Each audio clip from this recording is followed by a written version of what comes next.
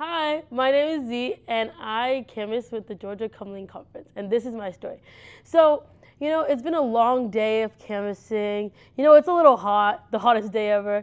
And, um, you know, I've gotten like, you know, three books, so, and I'm like, at this rate, I'm never gonna get books. Because I was going up hills, um, and, you know, their driveways were like this, and I like walked all the way up, and they were like, no, and I had to walk all the way back down.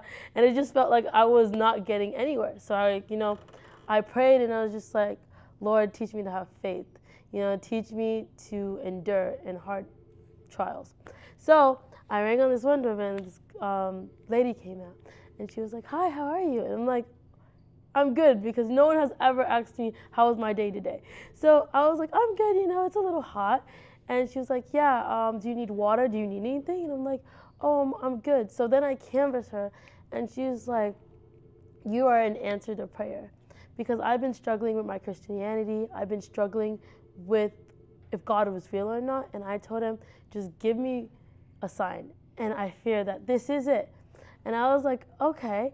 And so she's like, I want to know more about him. And I was like, okay, then I'll give you They Call Him Jesus, Desire of Ages. And I gave her all the devotion books I had. She was like, This is amazing. I think what you're doing is um, very nice because people like me are just looking for it. But I cannot find it anywhere because I'm not finding the books I need. And so she was like, and also she looked at finding It Food because it's teaching like nutrients and like all of that stuff through healthy foods and not medicine.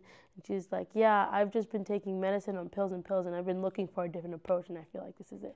So she was like, um, Keep on doing what you're doing, you know. And she was like, You know, um, can I pray for you? And she said a prayer for me.